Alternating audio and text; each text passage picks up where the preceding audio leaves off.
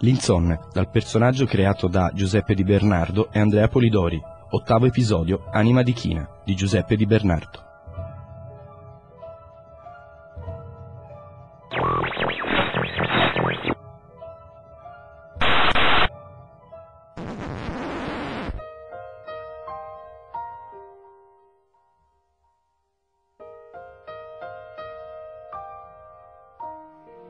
Con chi ama la notte, con chi vive la notte, con chi non dorme la notte. Desdimetus, l'insonnia, su Radio Stereo.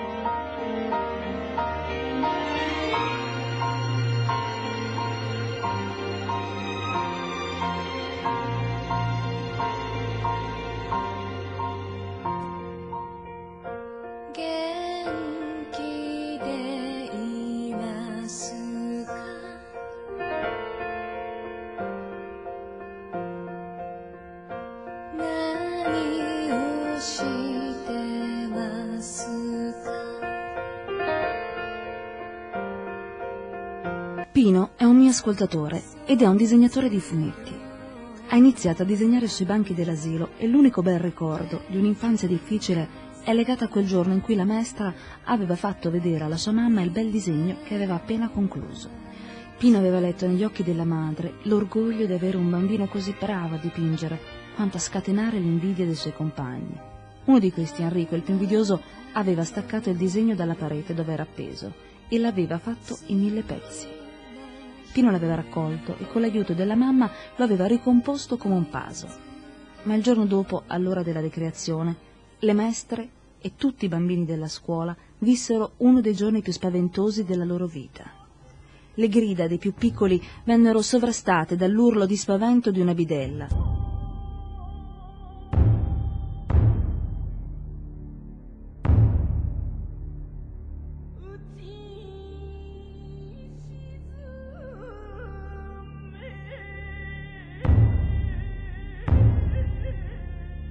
Enrico avanzava dondolando goffamente nel vialetto, si teneva la gola ed emetteva un gorgoglio simile ad un gargarismo. Poi improvvisamente cadde e una macchia rossa si allargò sul selciato. Il bambino era morto per uno stupido incidente. Sul retto della scuola era inciampato e si era tagliato la gola su delle mattonelle rotte e abbandonate nel prato.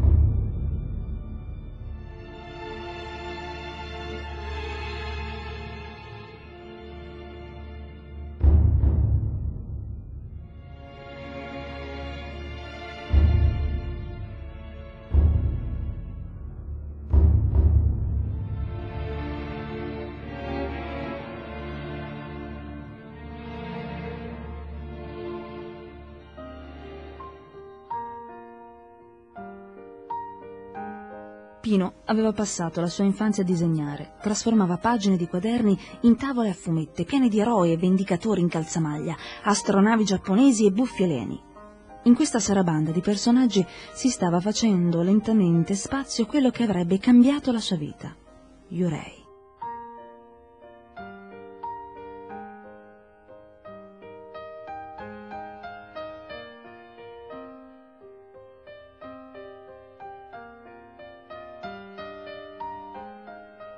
Pino, con la sua cartellina piena delle tavole di Ghiorei, si era presentato ad una infinità di case editrici ed una di queste aveva pubblicato il primo episodio, dove la giovane Gescia viene violentata da un ricco mercante veneziano e lei, per vendicarsi, inizia un duro allenamento che le consente di diventare una spietata ninja. Purtroppo l'editore non era soltanto piccolo, ma anche disonesto. Così, in 448, chiuse bottega e scappò, portandosi via i pochi soldi guadagnati e tutte le tavole originali. Pino non soffriva per il denaro perso, ma per la sorte di Yurei. Ad una creatura di carta e china era stata data un'anima, era stata fatta violenza, ma per la scelleratezza del suo editore gli era stato impedito di vendicarsi. Come un fantasma, Yurei aveva iniziato ad ossessionare Pino. Lui l'aveva creata e le aveva fatto vivere quello stupro. Ora lui doveva permetterle di vendicarsi. Oh,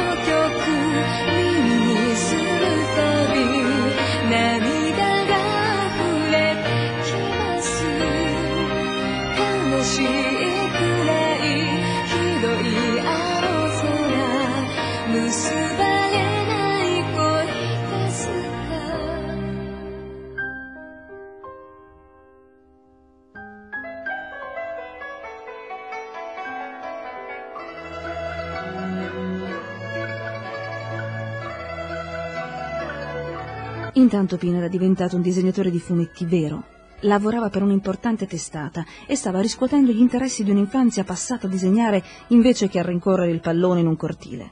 Ma nella sua mente c'era sempre Yorei.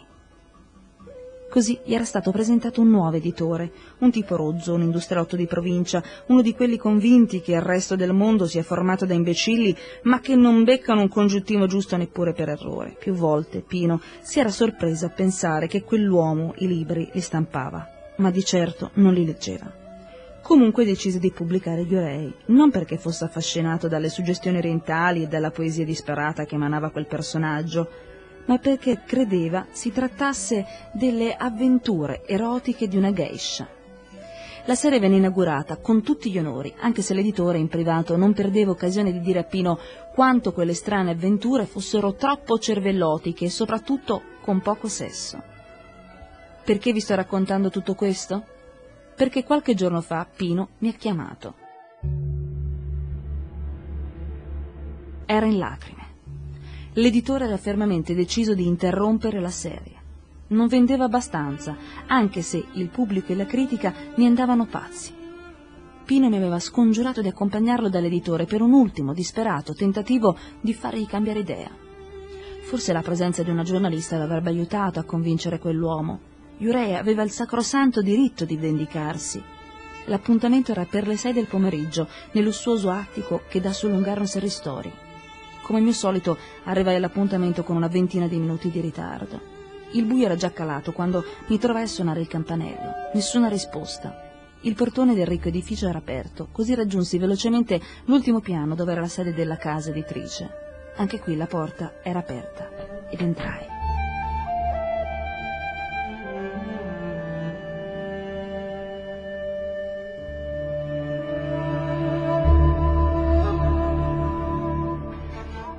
Le luci erano accese, le stanze erano vuote, tutto era immerso in un silenzio reso ancora più irreale dal freddo che sentivo. Una lama di vento gelido si metteva da qualche finestra che probabilmente era stata dimenticata aperta. Ma dove diavolo erano finiti tutti? Forse avevo fatto davvero troppo tardi e se n'erano andati? Probabile. Presi il telefonino e composi il numero di Pino per chiamarlo e scusarmi. Mentre componevo il numero speravo con tutta me stessa che l'editore avesse dato un'altra possibilità agli Yorei e che le permettesse finalmente di riscuotere una vendetta che solo gli eroi di carta sono autorizzati ad esigere. Sentì chiaramente il suono del cellulare di Pino arrivare dalla stanza in fondo al corridoio. Evidentemente era ancora lì, ma non rispondeva. Decisi di entrare per capire che cosa stesse accadendo in quella inquietante casa editrice. Bussai alla porta ma nessuno mi rispose. Così spinsi la porta che era appena accostata e che faceva filtrare quella lama di vento gelido che mi faceva venire la pelle d'oca. Pochi secondi dopo non fu più il vento a farmi raggelare. In un angolo della stanza Pino era rannicchiato a terra, tutto tremante e completamente coperto di sangue. Corsi da lui chiesi se fosse ferito. Non rispose, ma mi accorsi che ripeteva qualcosa a denti stretti, eh, qualcosa che suonava come ucuscio, Qualsiasi cosa volesse dire quella parola doveva essere qualcosa di veramente importante perché era stata ossessivamente tracciata col sangue sulle pareti della stanza e sul pavimento. Immediatamente un altro pensiero si fece largo, a spallate nella mia testa. Se tutto quel sangue non era di Pino, allora di chi era?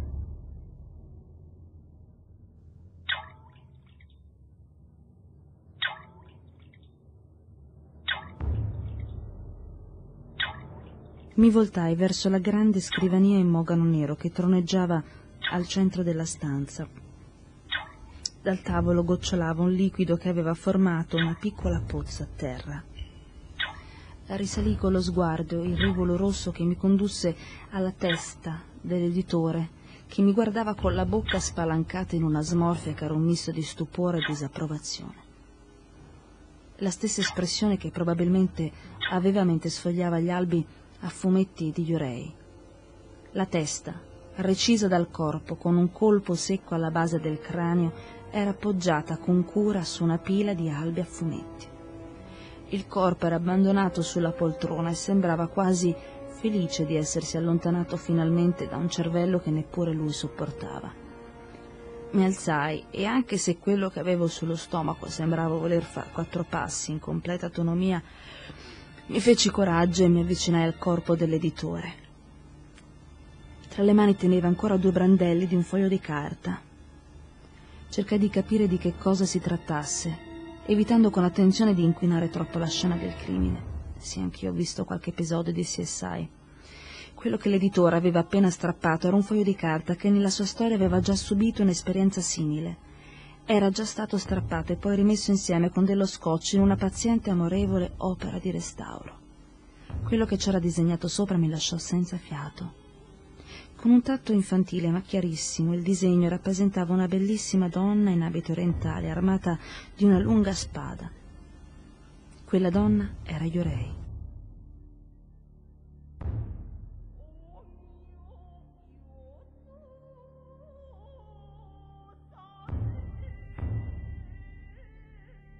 Fu in quel momento che indietreggiando mi trovai accanto alla finestra aperta. Mi parve per un istante di vedere una figura snella, sinuosa, che armata di una katana si allontanava sicura, saltando da tetto a tetto al solo chiarore della luna. Pino è stato accusato dell'omicidio. L'ossessione per il suo personaggio l'ha reso così folle da spingerlo a vendicare personalmente l'onore del personaggio che aveva creato. Probabilmente in un ultimo disperato tentativo aveva mostrato all'editore il disegno fatto da piccolo che rappresentava già allora la bella Yorei una vera missione, una fissazione che aveva corrotto la sua mente, l'aveva spinto a fondo nel mare della follia, un mare nero come l'inchiostro di china, e nel quale si era immerso, forse per la prima volta, tanti anni prima, sul retro di una scuola elementare.